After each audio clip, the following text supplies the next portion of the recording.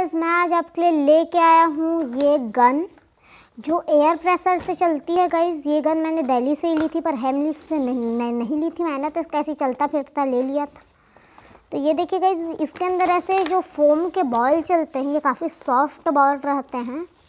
और ये इसके अंदर कोई ट्रि, ट्रिगर नहीं रहता गाइज़ ये एक्चुअल में एयर प्रेशर से चलता है. जैसे आप इसको ऐसे पंप करते जाओगे तो ये चलते जाएगा. तो आज हम इसका अनबॉक्सिंग वगैरह टेस्टिंग वगैरह करेंगे. ये देखिए इसके साथ एक गन मिलती है. आठ इसके बुलेट्स मिलते हैं और एक ऐसा टारगेटिंग वाला मिलता है और एक ये मिलता है जिसको हम रख के टारगेट कर सकें ये देखिए और पीछे से कुछ ऐसा है ये.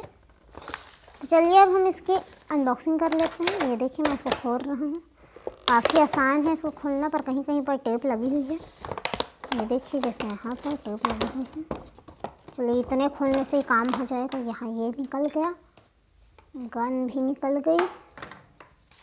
बुलेट्स भी निकल गया। ये देखिए।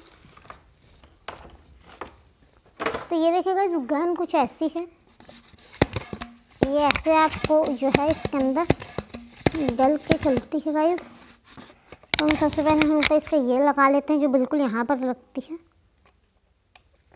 ये लग जा। तो ये यहाँ पर रखती है गाइस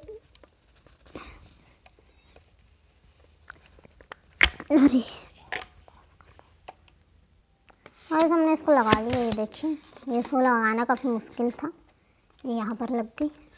तो हमें बुलेट सिंपल हमें ऐसे लोड करने हैं गाइस इसको ऐसे हमें पहले ऊपर कर लेना है।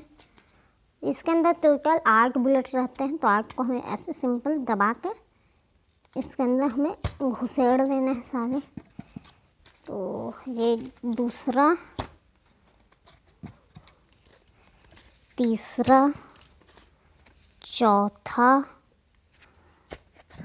फिफ्थ और ये सेवेंथ एंड एट तो अभी फायरिंग के लिए तैयार है गैस पूरी लोडेड है गन तो बहुत मज़ा आएगा इसको चलाने में, क्योंकि ये ब्रो मेरे को बहुत अच्छा लगा गैस कोई ट्रिगर नहीं, सिर्फ़ आपके एयर प्रेशर से ही चलेगा. तो थोड़ा सा इसको पंप कर लेना है, जिससे ये तो अभी चल गया. तो बुलेट जो चल गई थी गलती से मैं वो तो हमने उठा लिया और ये गाइस ऐसे रख के टारगेट करने का है तो इसको तो हम टारगेट नहीं करेंगे।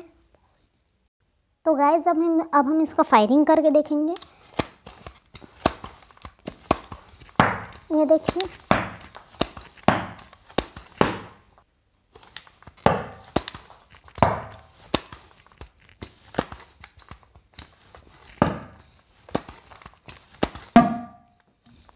तो गाइज़ ये जो है गन काफ़ी पावरफुल ये तो बिल्कुल ही नहीं है। चलिए हम सिर्फ़ एक गोली डाल के चला के देखते हैं।